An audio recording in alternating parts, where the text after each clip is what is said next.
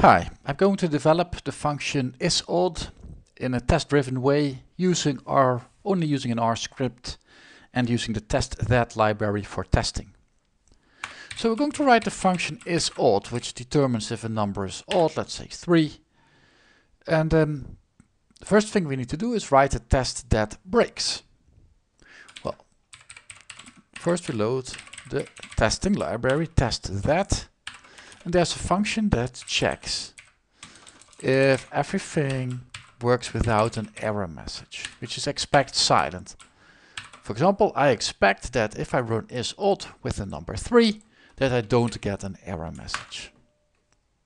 But there is an error message, it could not find the function is odd, which is very reasonable, uh, because we didn't write that. So now we can fix the test using as little um, as little effort as possible. So let's try this one. Still not silent because we unuse, there's no argument here, so add an argument. Done, fix it, check it in on GitHub.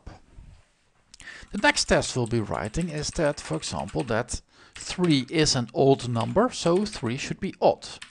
This test indeed fails. That means we should now use minimal effort to fix it. We can do that by simply always returning true. If I run the function, this test still passes. Fix this one. Nice, check it in on GitHub. Now we're going to add a new function that should break. So let's say, for example, 2 is not an odd number, it's an even number. So this test indeed breaks. So now we're going to add our first non-trivial things. Um, so an odd number, if from uh, the input x if we divide it by 2 and the remainder is 0, if we divide it by 2, so that's a modulo operator, if the remainder by 2, by if the remainder of a division by 2 equals 0, that's an even number. Um, actually, we're writing if it's an odd number, so that means uh, the remainder should be 1. So here we see if it still works. 3 is indeed still odd, 2 is not odd. That's great.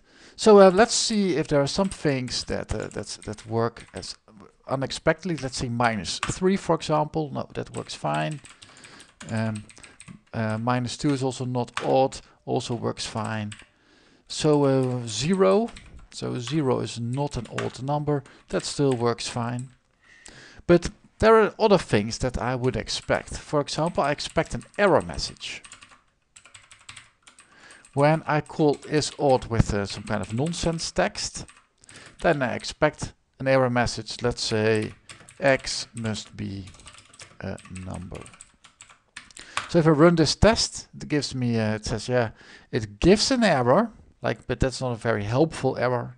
And so a beginner or a, a newbie to my, so to this function can't understand what's going wrong, because here she thinks, well, I've never implemented a binary operator and those kind of things. So let's help them, let's help our user by adding this proper test. So we can test if a number is numeric by using a is numeric. So that's a. So if x is not numeric, then the error message should be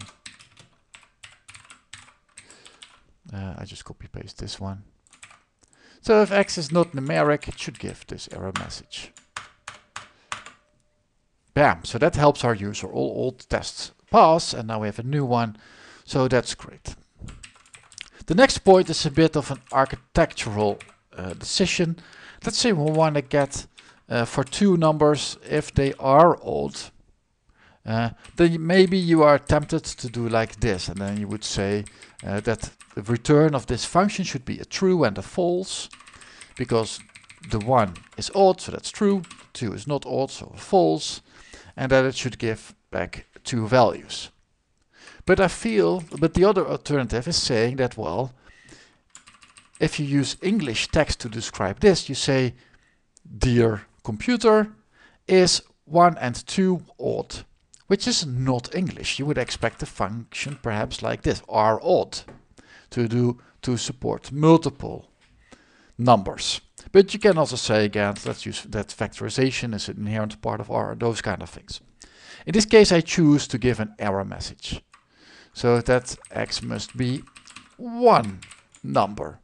And in the end, I can always add this function uh, rold to, to add a vectorized version of that.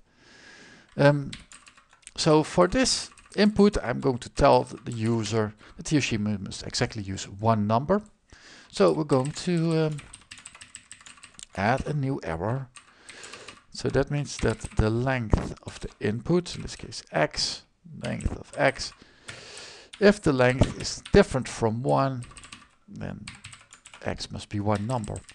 So let's see if we now fix the test. Yes, we fixed the test. That's great. Also, R has some side things. Um, for example, there are some unexpected values that you may want to check as well. So null is a clear one. If I put in a null, then I expect this error message. That works, so I don't need to add that test.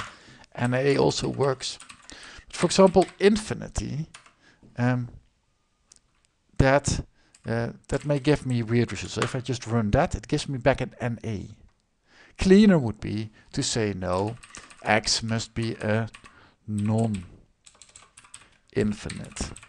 Or let's say a finite number also works, non-infinite. Must be a finite number. So I expect an error if I do determine of infinity, if it's odd that x must be a finite number.